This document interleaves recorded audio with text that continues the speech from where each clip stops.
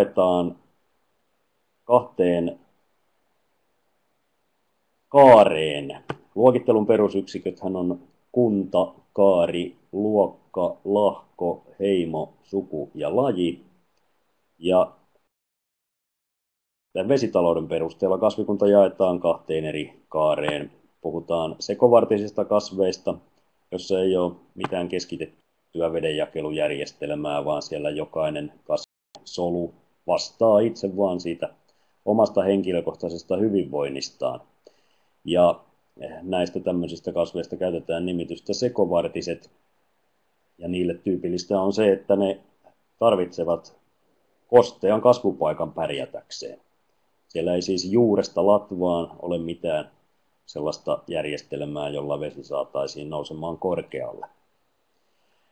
Näistä sekovartisista kasveista meille tutuimpia on tavalliset perussammalet, vaikkapa karhun sammal tai rahkasammal, nämä lehtisammalet, ja teillä tuolla oppikirjassa kasvien, kasveja käsittelevällä sivulla niistä on siellä sitten messeviä kuvia.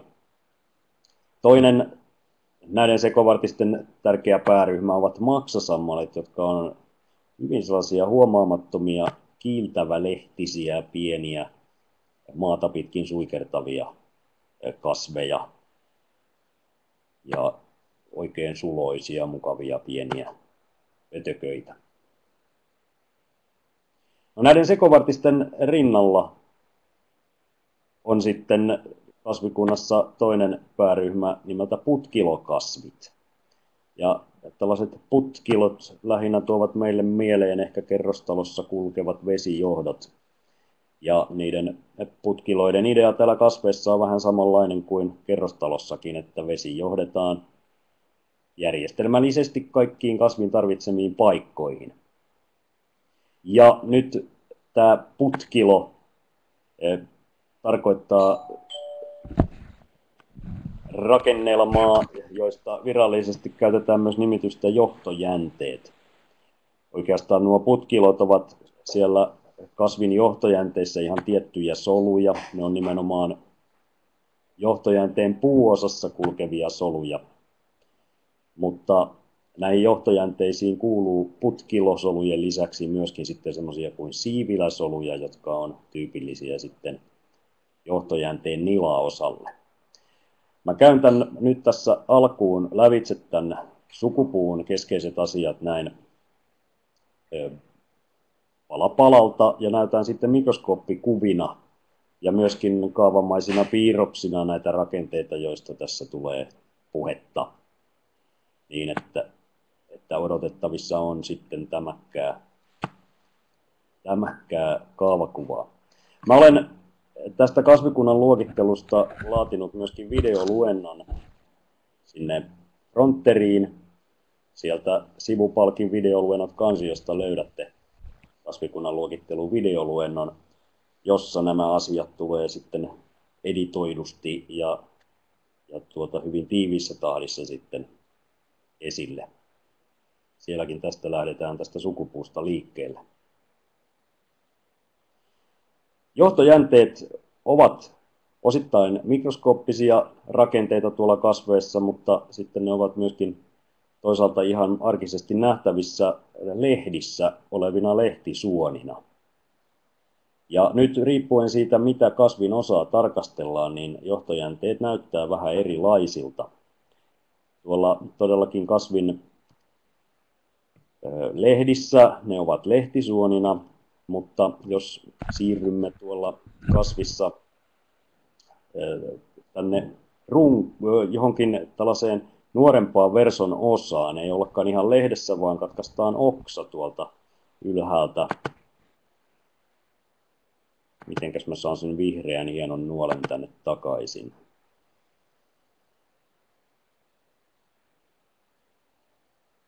Päivittykö, jos mä Ari sinulta kysyn, niin päivittykö tämä kuva ja näetkö mun mustan nuolen tässä kuvan päällä? Näen vihreän nuolen, joka on siinä tekstin yläreunan päällä. Ah, se on siellä. Mä en huomannutkaan sitä. No niin, hyvä. Eli mä otan sen tähän käyttöön. Eli siis lehdissä johtojanteet näkyy lehtisuonina, Mutta jos me pannaan tämmöinen nuori verson osa poikki tuolta läheltä latvaa, niin silloin siellä poikkileikkauskuvassa eh, mikroskoopissa näkyy tämmöisiä sel- selvähkö rajaisia solukoita. Ja jokainen tämmöinen pieni, pieni vähän ehkä munanmuotoinen poikkileikkauksessa oleva solukko on nyt sitten johtojänne. Ja jos tällaista johtojännettä katsotaan suurennoksena, se näkyy tässä nyt yksittäinen johtojänne, havaitaan, että siinä on itse asiassa kolme erilaista solukkoa. Ja tällaisessa johtojänteessä tuonne puun ydintä päin osoittava osa sisältää sitten puu nimistä aineesta, sitä meille tuttua tavaraa, jota on kiva lyödä kirveellä päähän. Ja sitten taas tuolla kuoren alla tässä tuonne kuoreen päin osoittaa jokaisessa johtojänteessä sitten semmoinen pehmeä, vähän mössömäisempi solukko, josta käytetään nimitystä nila. Näitä kahta solukkotyyppiä jokaisessa johtojänteessä jatkuvasti tuottaa sitten sellainen erilaistumaton solukko, jonka nimitys on jälsi. Mä olen sen tähän kaavakuvaan piirtänyt tähän keskelle tämmöisenä omansa näköisenä ja jos tarkastellaan nyt vaikkapa tätä johtojännettä tässä, mihin vihreä nuoli osoittaa, niin siinä yksittäisessä johtojänteessä tuonne kuoreen päin siis osoittaa nila ja ytimeen päin puuosa. Ja niiden välissä jälsi tuottaa sitten pikkuhiljaa uutta puuaineesta tuonne ytimeen ja uutta nilaa tuonne kuoreen päin. No tällaisessa nuoressa versonosassa, kun ollaan pantu oksa poikki tuolta läheltä latvaa, niin siinä suurin osa siitä poikkileikkauspinnasta on niin sanottua perussolukkoa. Se on sellaista solukkoa, josta ei voida sanoa oikein, että onko se puuta vai nilaa. Ja se on sellainen varaosasolukko, jos oksa vaurioituu, niin sitten tämä pystyy aina erilaistumaan tarvittaviksi solukkotyypeiksi. No nyt jos vielä laitetaan täältä ihan rungosta poikki tällainen kasvi, niin siellä sitten nämä äsken mainitut solukkotyypit ovat taas vähän omansallaisessa järjestyksessä. Nimittäin kun kasvi vanhenee, niin nämä alunperin erilliset johtojänteet kasvavat leveyttä. Ja siellä Maria-Leena näköjään on tipahtanut linjoilta. Niin nämä alun perin erilliset johtojänteet, ne kasvavat leveyttä. Vähän niin kuin meillä ihmisilläkin tahtoo ikääntyessä käydä, että leveyttä tulee lisää, niin sama on näillä. Ja nyt kun yksittäiset johtojänteet kasvaa kiinni toisiinsa, niin sinne muodostuukin tuonne ytimeen sitten yhtenäinen tällainen puuosa, Ja sen päällä on yhtenäinen kerros tuota jälttä, jälsikerros tuossa vähän tällainen tummemmalla tässä mun superpiirroksessani. Ja sitten taas tuolla kuoren alla niin kulkee yhtenäinen tämmöinen nilakerros. No, tämä kaavakuva tässä ei tilannetta välttämättä tee kauhean realistiseksi, mutta minäpä näytän teille vähän tuolta sitten mikroskooppikuvia. Onko tullut kenellekään tässä vaiheessa mieleen jotain kysyttävää tästä putkilokasvien johtojänteiden rakenteesta?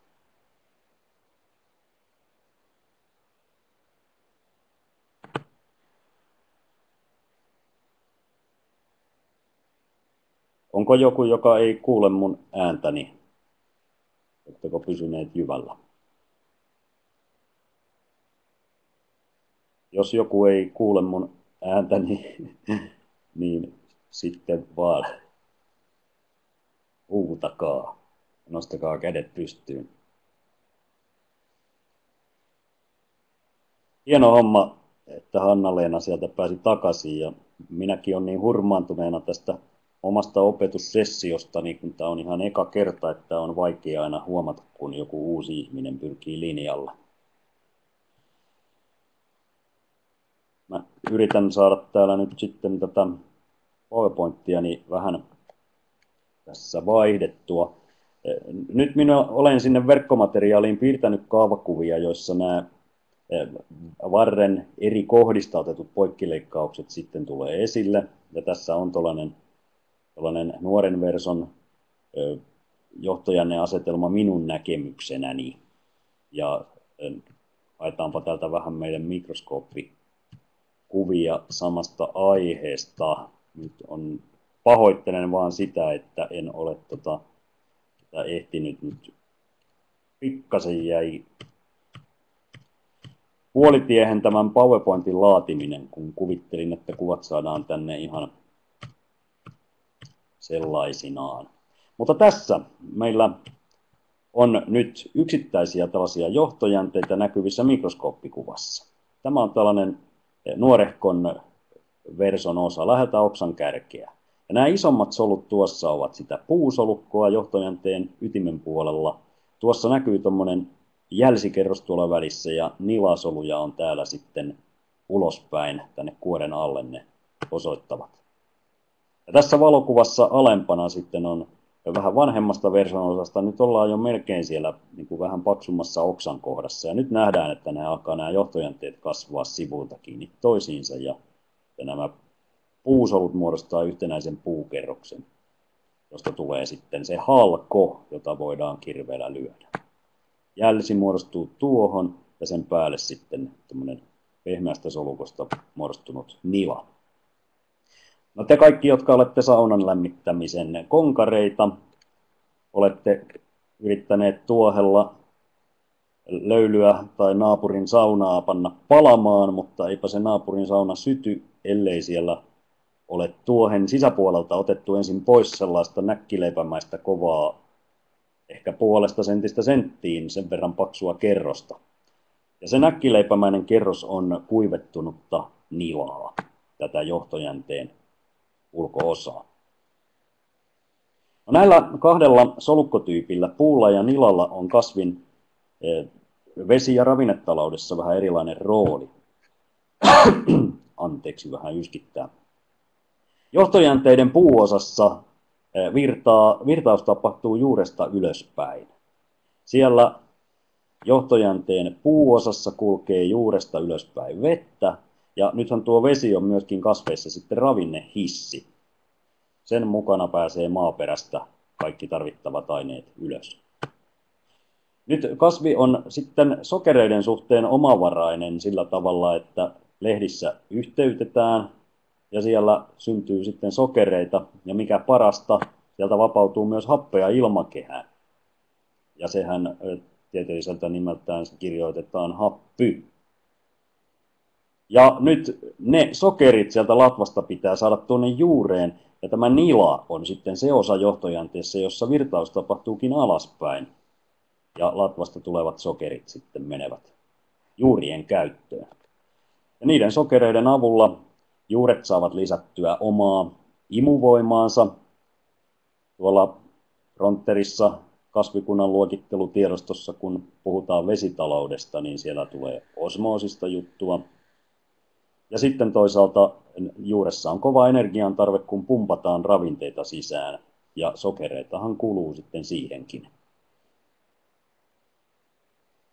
Onko tässä vaiheessa tullut kenellekään mieleen mitään kysyttävää?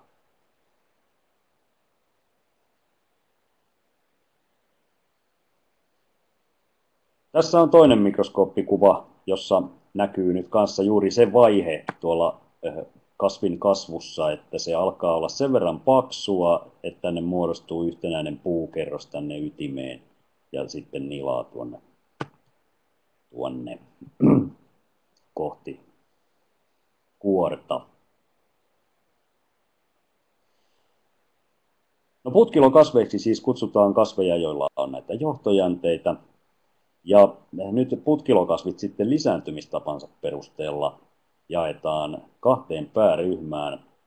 Puhutaan sanikkaisista ja siemenkasveista. Ja sanikkaiset lisääntyvät itiöiden avulla. Niihin kuuluu saniaiset ilman koota siis, ja sen lisäksi kortteet ja liekokasvit. Kaikilla näillä sanikkaisilla, joita siis ovat liekokasvit, kortteet ja saniaiset, lisääntyminen perustuu itiöihin. Tuo toinen vaihtoehtoinen putkilokasvien porukka ovat sitten siemenkasvit.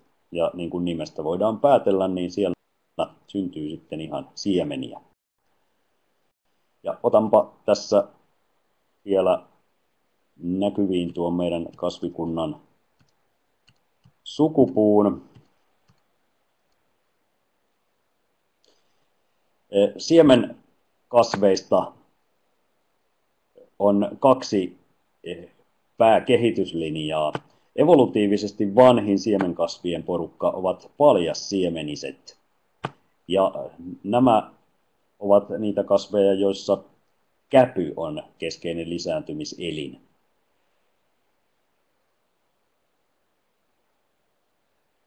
Paljassiemeniset ovat olleet maapallolla valtiaita tuolla dinosaurusten valtakaudella, Rias, Jura ja Liitukauden aikana. Ja näiden dinojen aikaan ei todellakaan vielä ollut kukkakasveja olemassa. Itse asiassa vasta nippanappa siellä dinojen valtakauden lopussa tuli ensimmäiset kukkakasvit. Ja niistä käytetään nyt sitten nimitystä koppisiemeniset. Nykyaikana tämä paljassiemenisten porukka on siinä mielessä aika simppeli ajatellen tätä meidän biologista tietämystämme, että niihin käytännössä kuuluu ainoastaan havupuut. Mutta on olemassa myös sitten joitakin havupuihin kuulumattomia lajeja, ja paljassiemenisistä esimerkiksi neidon hiuspuu on sellainen terveyskaupoissa terveystuotteeksi jalostettava laji, joka näyttää lehtipuulta, mutta se on tosiasiassa sitten kanssa tällainen paljassiemeninen laji. Tämä nimitys paljassiemeninen johtuu siitä, että niillä munasolut ovat tuolla käpysuomujen väleissä paljaana siellä kävyn suomun tyvessä aivan sitä kävyn karaa vasten. Ja se käpy kokonaisuutena sitten suojaa niitä munasoluja ja tuulen mukana sitten siitä pölyhiukkaset sinne tulevat kuin uliaat prinssit valkeilla ratsuillaan hedelmöityksen, hedelmöityshaasteiden äärelle. Mutta koppisiemeniset, eli kukkakasvit, niillä taas munasolut ovat suojassa vähän pulloa muistuttavan eminimisen rakenteen sisällä.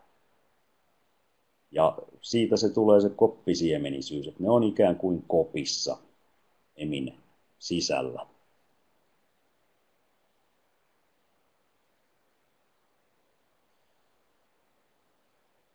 Kurkataanpa pikkasen tuollaista koppisiemenisen kukan perusrakennetta.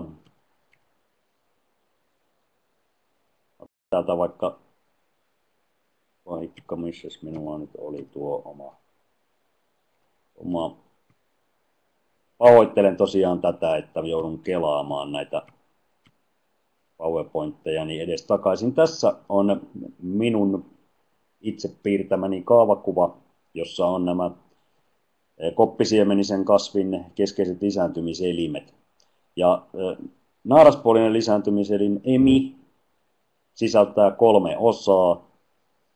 Luotti on tuo emin pullomainen suuosa, sitten tämä emin kaula, siitä käytetään nimitystä vartalo. Ja se pesäosa, jossa varsinaisesti munasolut odottavat, on nimeltään sikiäin. Koiraspuolinen lisääntymiselin, eli hede, sisältää sitten kaksi pääosaa. Siellä on tämä heteen varsi, eli palho viralliselta nimeltään, ja sitten heteen päässä on tuo siitepölyä tuottava pallukka nimeltä ponsi. Ja nyt tuommoisessa vähän virallisemman näköisessä kaavakuvassa nämä kyseiset osat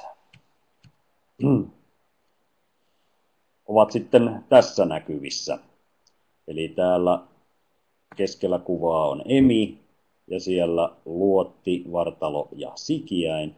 Ja sitten tämä kukkanen tässä sattuu olemaan kaksi neuvoinen, eli siinä samassa kukkasessa on nyt myöskin sitten nämä koiraspuoliset lisääntymiselimet, eli heteet. Tähän emin sikiäimeen siellä sisällä on sitten tämmöinen kalvorakenteinen pieni pussukka tai usein vähän, niitä voi olla siellä useampiakin, josta käytetään nimitystä alkiorakko. Ja varsinaisesti tämän kalvoston sisällä sitten se munasolu odottaa hedelmöittymistään. Ja näin ollen tämä on pikkasen ehkä samantyylinen asetelma kuin mitä meillä nisäkkäillä, että täällä niin kuin naaraan sisällä on, on vähän voisi ajatella, että on ikään kuin kasvin kohtu tämä alkiorakko, jossa se munasolu sitten on. Ja kun hedelmöitys tapahtuu, niin siellä se, se alkio sitten kehittyy. Hedelmöityksen jälkeen tästä emin sikiäimestä turpoaa sitten näiden syntyvien siemenien ympärille hedelmä. Ja hedelmähän voi olla hyvin monen, monenlaatuinen, mutta kun me syömme vaikkapa omenan, niin siellä sisällä olevat siemenet ovat sinne jääneet siinä vaiheessa, kun se omena oli vain tämmöinen pieni kukkanen. Ja sitten emi turpoaa siihen varsinaisesti hedelmäksi sen ympärillä.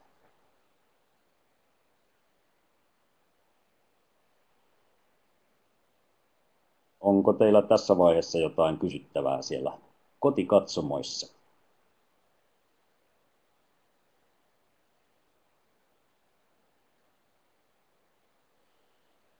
No nyt tässä tuli esille sellainen seikka, että on olemassa kukkia, joissa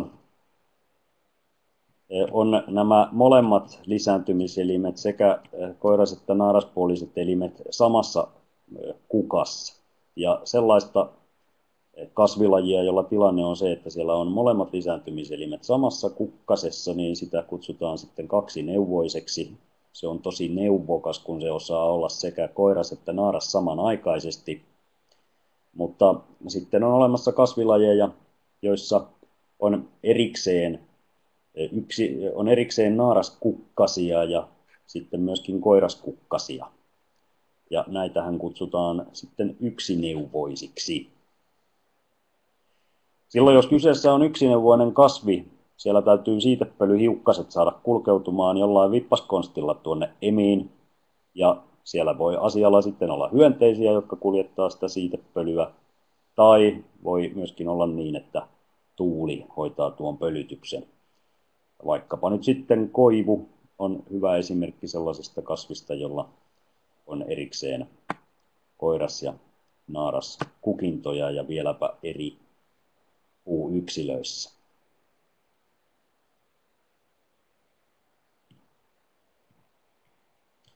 Mennäänpä takaisin tuonne meidän,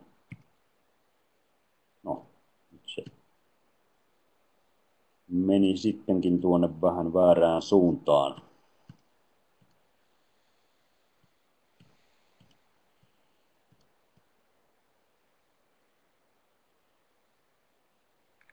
No silloin, jos meillä on tuommoinen kasvi, jossa on erikseen koiras ja naaras kukintoja, niin silti saattaa olla niin, että nämä eri, erilliset hedekukat tässä olevinaan tässä oikealla, tämä on mun säälittävä piirrokseni, ja vasemmalla emikukka, että ne ovat samassa kasviyksilössä.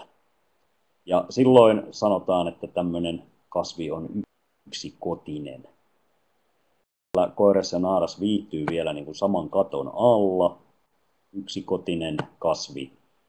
Ja nyt esimerkiksi leppä on tällainen, että sillä on samassa, samassa kasviyksilössä erikseen hedekukkia ja erikseen emikukkia, mutta samassa puussa kuitenkin.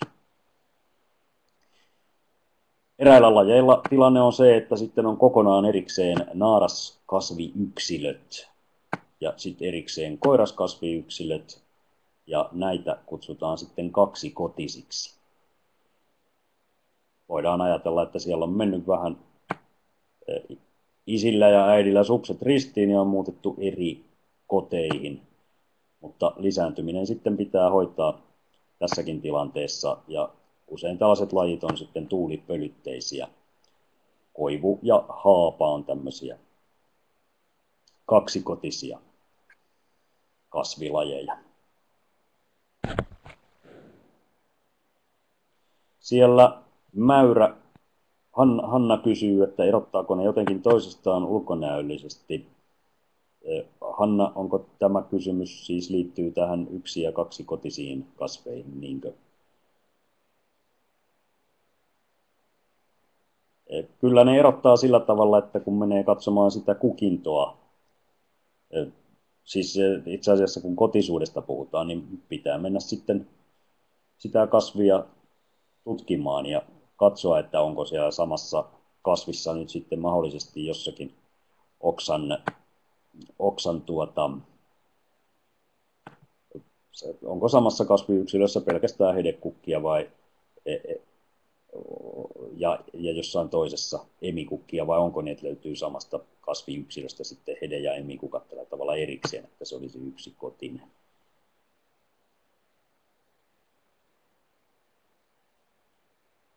No, sitten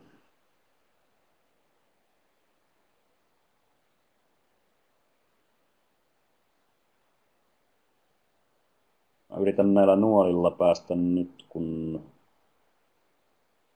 kun, kun ymmärtäisin, se taisi olla tätä reittiä. Mennäänpä taas vilaseen tätä meidän sukupuuta. Koppisiemenissä kasveissa siis on nämä kaksi tällaista käsitettä, kotisuus ja neuvoisuus, jotka teidän pitäisi sitten hallita ja ne on siellä meidän kirjallisessa kurssimateriaalissa kyllä näpäkästi ja myöskin sitten videoluennossa tuolla fronterissa.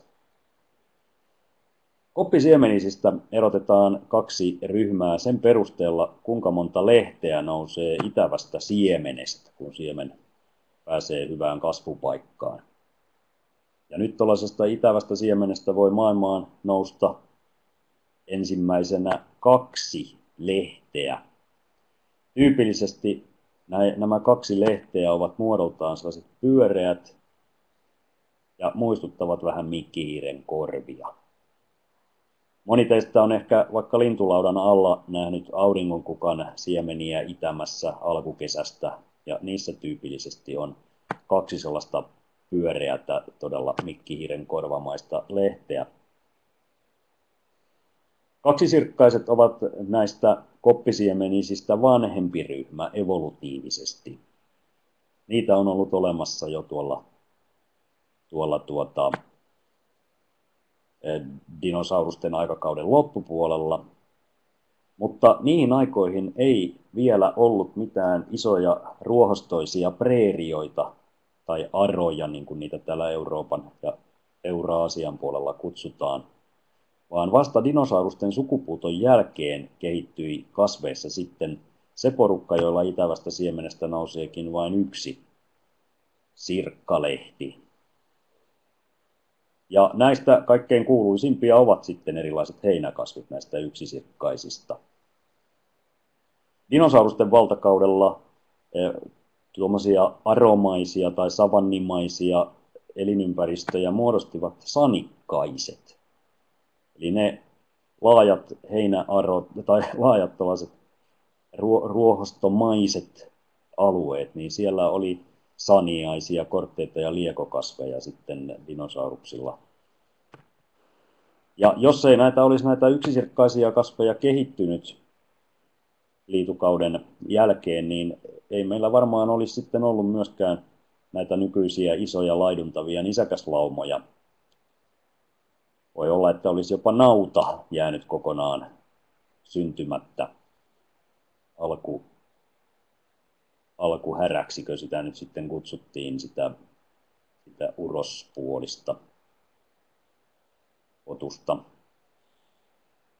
Ja zebrat ja gnuantiloopit ja hevoset ja kaikki tämmöiset olisi jääneet ehkä kehittymättä, jos ei olisi syntynyt tätä heinäkasvien porukkaa. Yksisirkkaisiin kuuluu kyllä muitakin lajeja, muun muassa meidän kotoinen kielomme. Ja orkideat ovat tyypillisiä tämmöisiä yksisirkkaiskasveja. Samaten sitten vesikasveista, niin vaikkapa ahven vita edustaa tuota yksisirkkaista rakennemallia.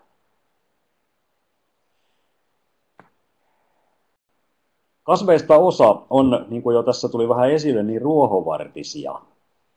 Niihin ei muodostu tota, puuainesta kovinkaan paljon sinne kasvin sisälle ja silloin ne säilyy tuollaisina ruohovartisina koko elinkaarensa.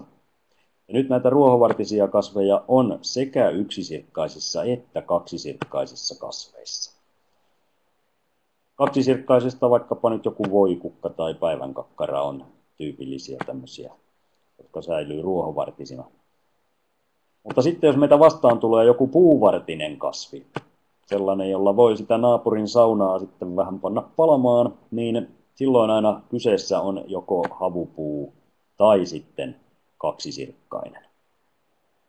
Ja näin ollen kaksisirkkaiset kasvit ovat siis tällainen aika monimuotoinen ryhmä. Molempia kasvutapoja löytyy niistä. No nyt kun tuossa oli noista johtojänteistä vähän juttua, niin asetelma on sellainen, että eh, näissä yksi- ja kaksisirkkaisissa on johtojänteiden sijoittumisessa eroja.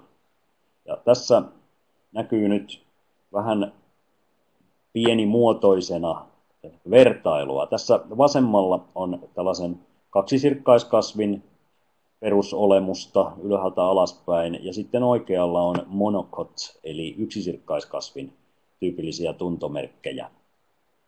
Ja ensinnäkin täällä, jos pannaan siemen halki, niin siellä näkyy noiden lehtien aiheet, ja tässä siemenessä näkyy kaksi sirkkalehden aihetta tuolla sisällä.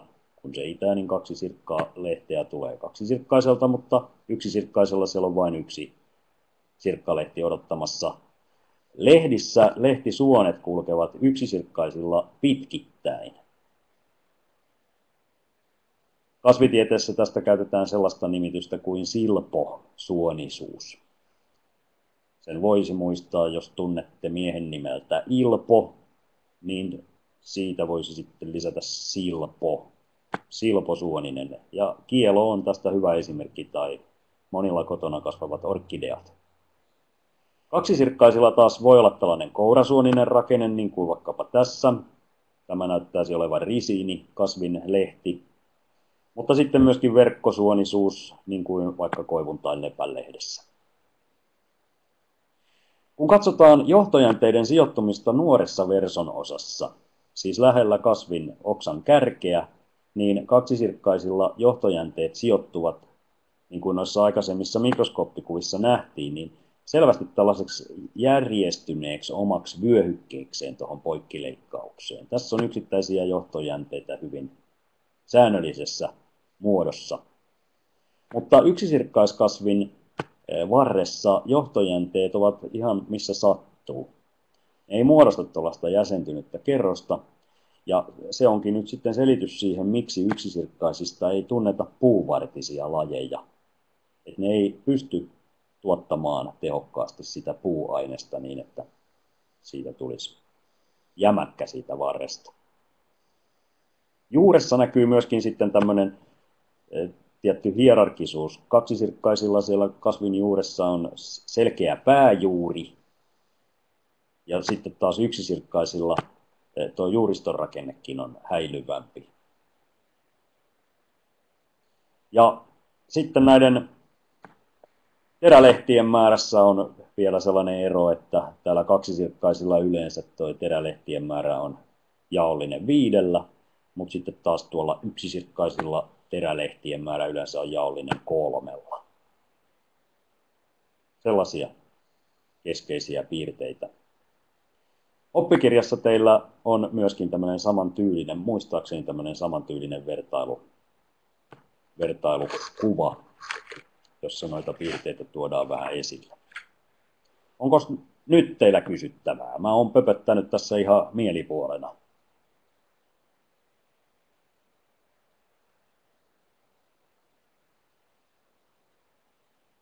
Syvä hiljaisuus vallitsee teillä siellä. No, se on... Toivottavasti se ei johdu siitä, että olette nukahtaneet.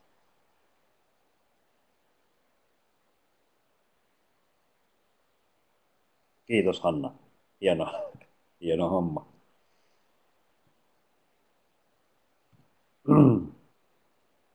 No kun noista puuvartisista kasveista katsotaan poikkileikkausta sitten läheltä, läheltä tyveä, sieltä missä se on ihan reilusti puuta, se kasvi, niin poikkileikkauksessahan tulee näkyviin vuosirenkaita.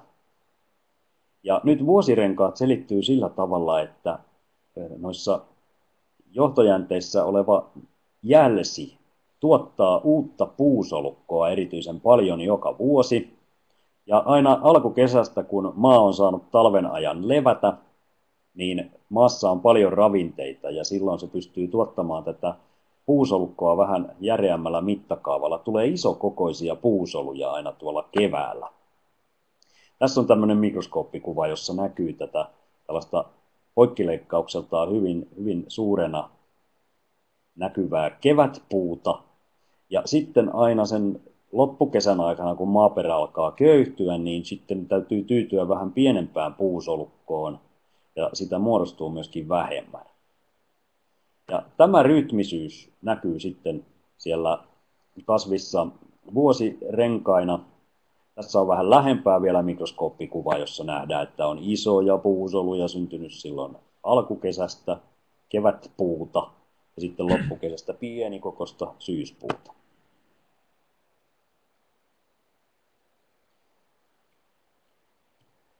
Tässähän on nyt sitten tämmöinen arkinen meille tuttu tilanne, että siellä ne vuosirenkaat ovat.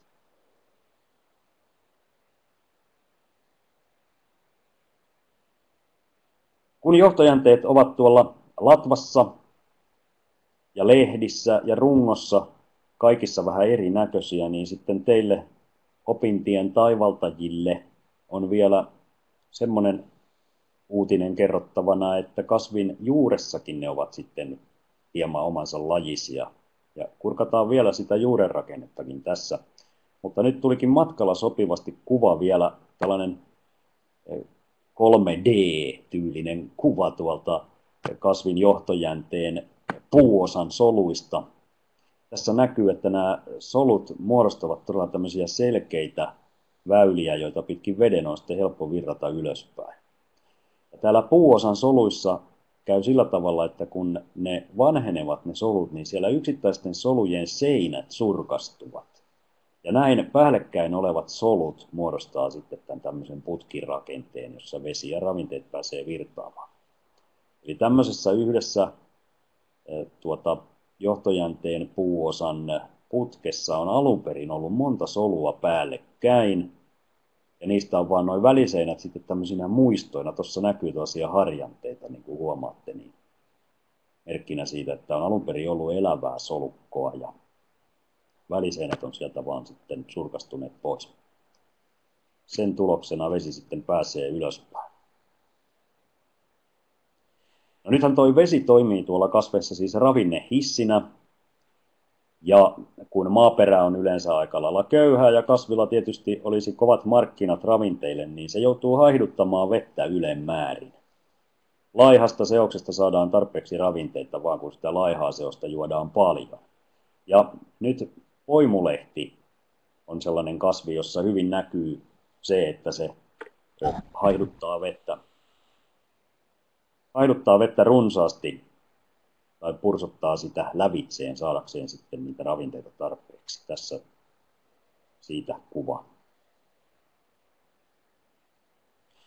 No, kurkataanpa vielä tosiaan tuota juuren rakennetta. Mm.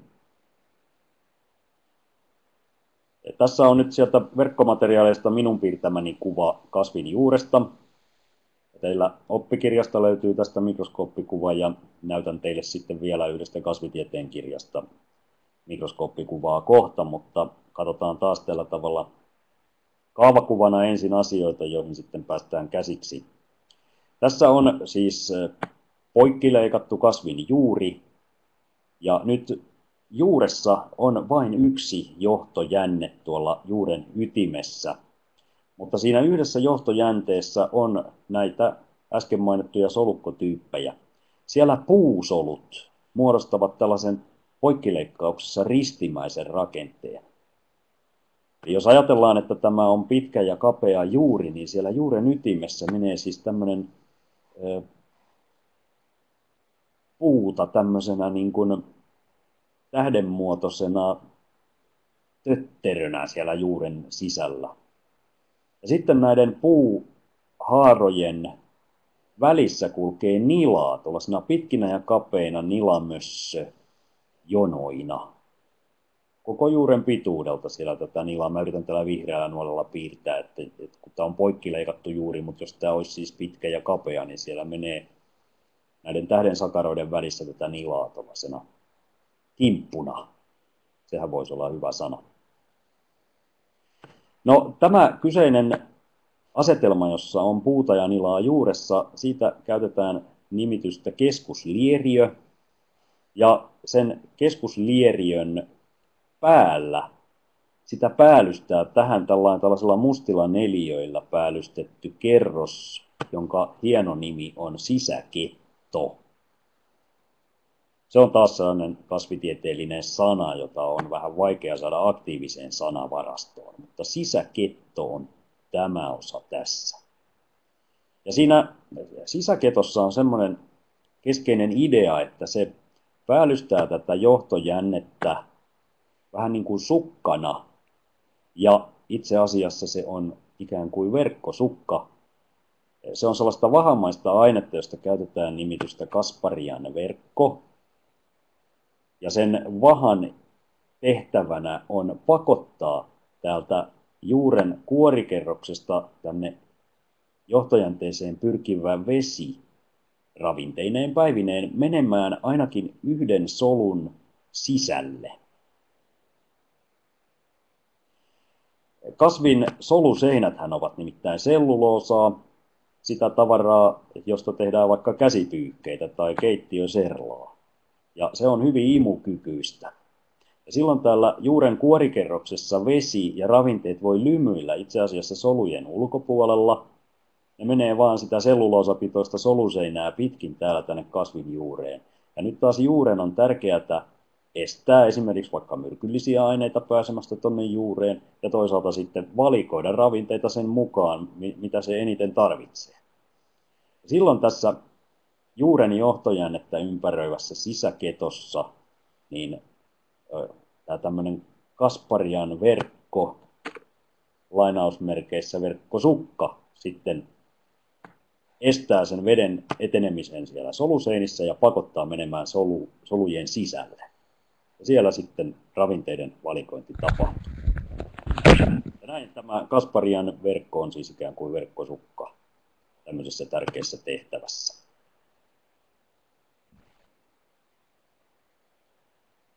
Tuleeko teille tästä tässä vaiheessa mieleen jotain ajatuksia tai kysymyksiä?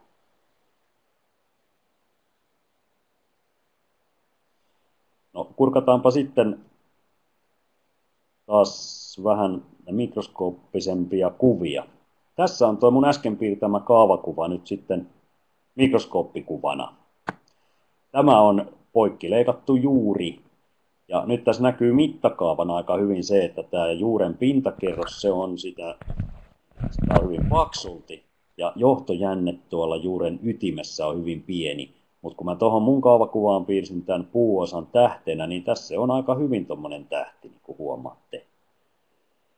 Nämä isot solut ovat siis puuta, jossa vesi sitten virtaa kohti latvaa ravinteineen. Ja sitten täällä sakaroiden välissä kulkee siellä juuressa nilaa, jossa sokereita tulee tänne ytimeen ja kun ne juuri sitten pumppaa tuolta maaperästä ravinteita, niin niitä sokereita siihen tarvitaan. Ja nyt tämä tässä on keskuslieriö, ja sen keskuslieriön rajaa tästä kuorikerroksesta sitten se sisäketto, kamala sana. Siinä sisäketossa sitten on tuo Kasparian verkko, vahamainen verkkosukka. Tulee teille Kasparian verkosta kysyttävää.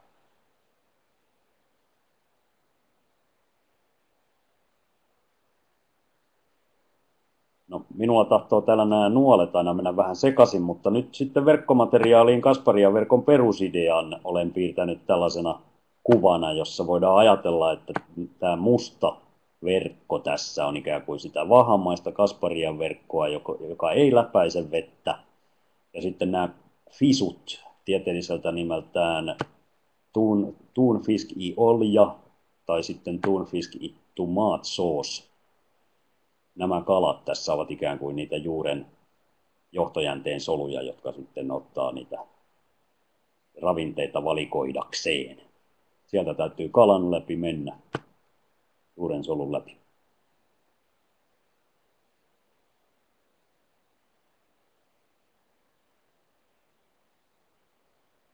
Tässä on vielä tämmöinen vähän asiallisemmin piirretty kaavakuva samasta asiasta.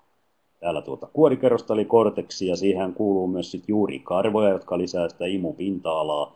Ja tässä korteksin päällä myöskin on sitten melkein kaikilla, käytännössä kaikilla maakasveilla e, myöskin semmoinen symbioodissa elävä sienijuuri, siis sieni, sienirihmasto, joka lisää sitä imupinta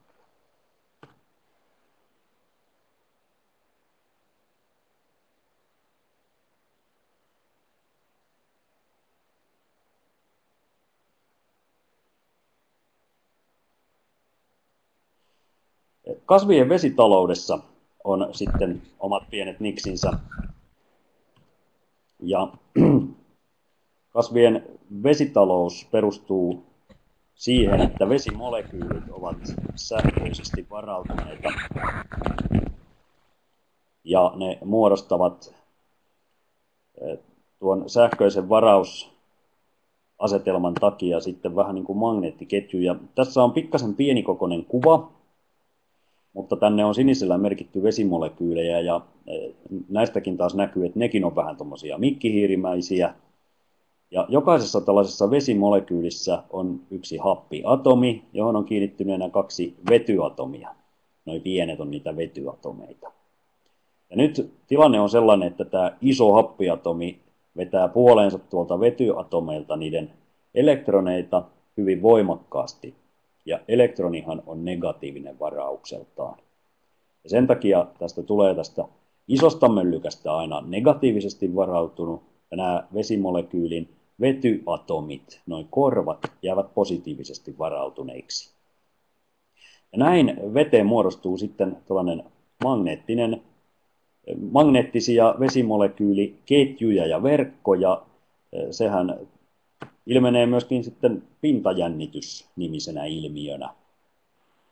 Ja kun kasvi maaperästä ottaa vettä, niin siinä on kaksi asiaa, jotka siihen vedenottoon vaikuttavat tämän magneettisuuden lisäksi.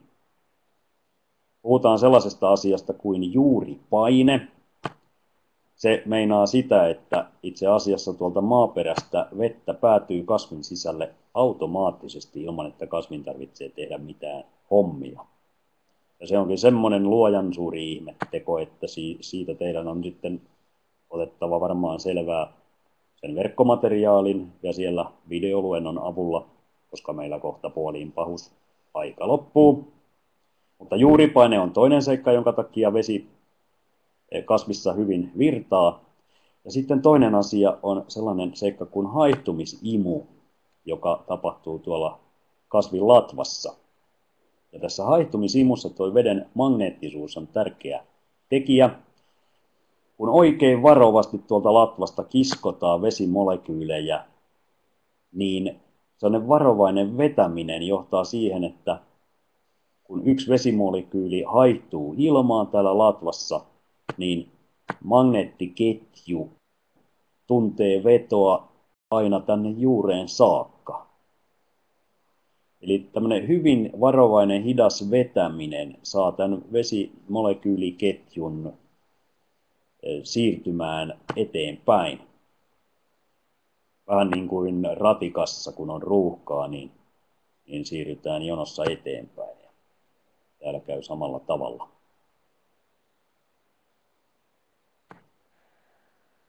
Haittumisimun voimiin saadaan siis vettä siirrettyä alhaalta ylöspäin. No, nyt tuo juuripaine tuolla alhaalla sitten puolestaan eh, perustuu siihen, että täällä puun sisällä on hyvin väkevä liuos verrattuna siihen, mitä tuolla maaperässä oleva vesiliuos on. Ja silloin kun meillä on kaksi ainetta, joissa on erilainen pitoisuus niin nämä pitoisuuserot pyrkivät tasaantumaan ihan itsestään. Siitä käytetään sellaista nimitystä kuin diffuusio. Ja varmaan teistä moni on diffuusioon tutustunut kemian tai fysiikan tunnilla. No sellaista keittiökemiaa ja keittiöfysiikkaa tapahtuu kahvi- ja teekupissa.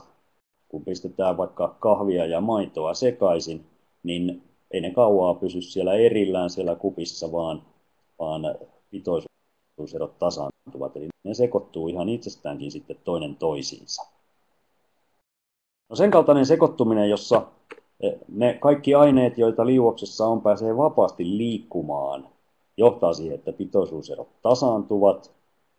Mutta jos meillä onkin sellainen asetelma, että jomman kumman aineen liikkuminen estetään, niin silloinkin tämä pitoisuusero pyrkii tasaantumaan, nimittäin ne aineet, joiden liikettä ei estetä, työntyvät sitten niiden aineiden luokse, joiden liike on estynyt.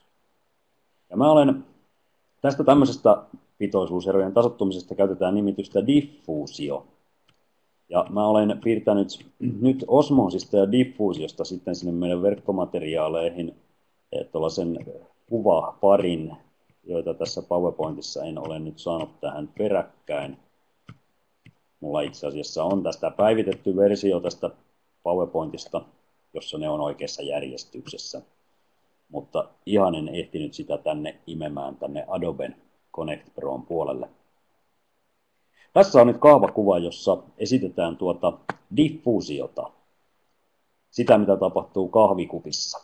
Jos ajatellaan, että meillä on hetkellä A tässä tämmöisiä poikia omana porukkanaan ja tuossa oikealla on sitten tyttöjä omana porukkanaan. Voidaan ajatella, että olisi vaikka tytöt olisi sokeria, eli sugar honey babes, ja sitten täällä olisi nämä pojat tässä vasemmalla, ne olisi vaikka kahvia.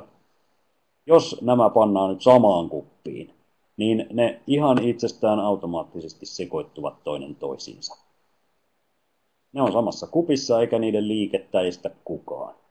Luokkahuoneessa esimerkiksi käy poikien ja tyttöjen kanssa sitten ihan konkreettisesti juuri näin. Nyt nämä sokerimolekyylit, nehän ovat taas sellaista tavaraa, jota kasvi tuottaa tuolla latvassa, ja se kuljettaa niitä johtojänteiden nilaosassa juureen.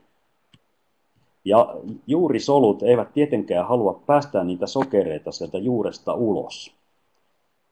Jos nyt ajatellaan, että nämä sokerimolekyylit, eli nämä mimmit, on vangittuina sinne juuren sisälle, solukalvojen taakse, ne ei pääse poistumaan sieltä. Mutta meillä maaperässä on vesimolekyylejä, eli nämä pojat ovatkin maaperässä olevaa vettä. Havaitsemme, että tilanne on kestämätön. Täällä on ahdistuneita ilmeitä molemmilla, mutta vaikka tytöt on vangittu juuren sisälle, niin silti pitoisuuserot pyrkivät tasoittumaan – ja jos ainoa molekyyli, joka voi liikkua, ovat ne maaperässä olevat vesimolekyylit, niin ne työntyvät sieltä maaperästä itsestään sinne juuren sisälle. Tämmöinen pitoisuuseron tasottuminen, jossa vain toinen aine pääsee liikkumaan, on nimeltänsä osmoosi. Ja juuri paine siellä maa, kasvin juurissa maaperässä niin juuri tällaisen osmoottisen sokerimolekyylien olemassaoloon perustuvan imuvoiman takia sitten toteutuu. Ja näin siellä kasvin juuressa siis on pyrkyä kasvin sisään. Ja nyt kun meillä on nämä kaksi asiaa, että kasvin latvassa on haihtumista ja juuressa on juuripainetta, niin kasvi saa paljon vettä ja sen veden mukana ravinteita. Tuleeko teille tästä mieleen kysymistä. Diffuusiosta ja osmoosista.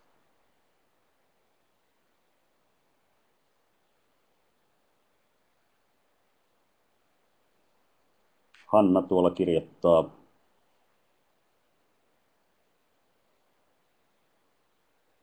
Kun puu kasvaa kalliolla, niin e, siinä kyllä tosiasia on sellainen, että se ei siellä kauaa kasva, jos ei sen juuret ulotu johonkin märkään jonnekin veden lähteille. Ja jos on oikein kuiva kasvupaikka, niin silloin tietysti puu saattaa joutua kärsimään janoa. Se joutuu sulkemaan kaikki haihduttavat ilmarakonsa. Mutta on muistettava, että aina kun kasvi kärsii janoa, niin se itse asiassa kärsii myöskin nälkää, koska se vesi on sille se ravinnehissi. Se ei saa maaperästä ravinteita, jos ei se pysty haihduttamaan reilusti vettä. Ja näinpä tuollaisilla hyvin kuivilla kasvupaikoilla ja vaikkapa saariston luodoilla, niin puut kyllä kasvaa sitten ihan hirveän hitaasti. Se oli hyvä kysymys.